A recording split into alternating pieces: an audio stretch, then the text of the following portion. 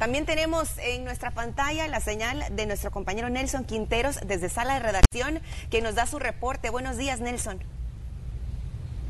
Así es, muy buenos días compañeros, qué gusto saludarlos en este viernes y desde ya feliz fin de semana. Vamos a hablar de lo que ha sucedido en las últimas horas y es que dos accidentes de tránsito se registraron en diferentes puntos. El primero ocurrió en el Boulevard Los Próceres y la entrada del Boulevard Monseñor Romero. Vea usted las impactantes imágenes. El conductor de esta camioneta roja perdió el control y fue a impactar contra la parte trasera de este camión que transportaba material de construcción. Afortunadamente el conductor iba solo y bueno, solo resultó con lesiones de gravedad, por lo que fue necesario la intervención del cuerpo de bomberos y de socorristas de comandos de salvamento para liberarlo porque quedó atrapado entre los hierros y posteriormente fue trasladado hacia el hospital San Rafael de Santa Tecla. Lamentable situación y pues gracias a Dios solo iba él y resultó con lesiones de gravedad, no perdió la vida. Ayer hablábamos de cuatro personas que fallecieron en otro accidente de tránsito y pues bueno, lamentable situación que amanezcamos este día viernes informando con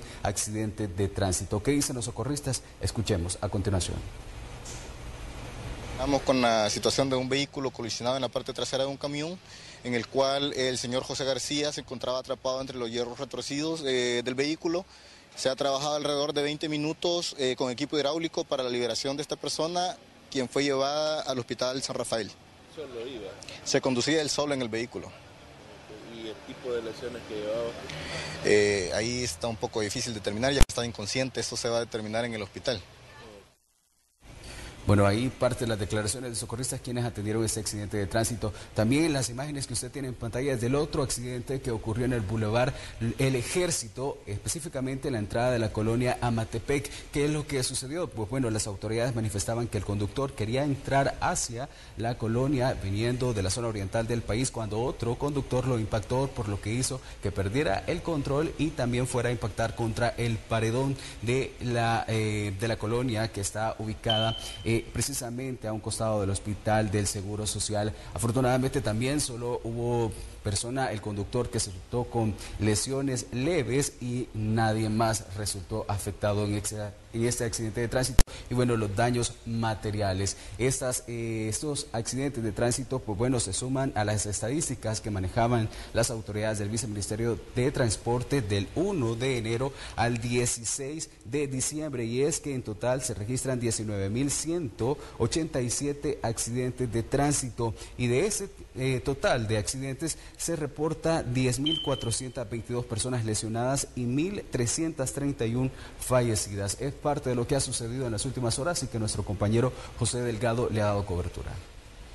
Nelson, ahí tenemos el, detalle de estos accidentes que han ocurrido en las últimas horas y qué impactante el primero que veíamos, que el que ocurrió sobre el Boulevard Monseñor Romero, donde ese vehículo prácticamente quedó destrozado. Y ahora vemos el de este camión e igual el llamado es a los automovilistas que tengan precaución precisamente para evitar que estas estadísticas que tú nos compartías siga aumentando porque es bastante alarmante hablar de 19 mil accidentes de tránsito en lo que va de este año así que esperamos que pues las autoridades también puedan aumentar eh, los controles en las carreteras precisamente para que pueda tenerse mayor precaución que los automovilistas siempre estén acatando eh, y respetando la ley de tránsito porque vemos aquí Nelson, cómo quedó este vehículo. De verdad que esto pudo haber terminado peor porque vemos que prácticamente esa camioneta quedó destrozada, Nelson.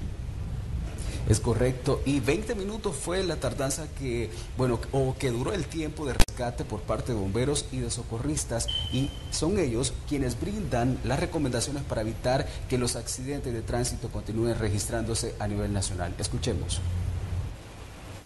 Es eh, manejar siempre con el mayor cuidado, siempre la defensiva, eh, no manejar si está demasiado cansado, se pueden dormir, ocasionar accidentes, no mezclar alcohol y el vehículo, no conducir en estado de ebriedad, ya que es una de las principales causas eh, de accidentes, no distraerse con los teléfonos también es una de las principales causas de accidentes que podemos evitar.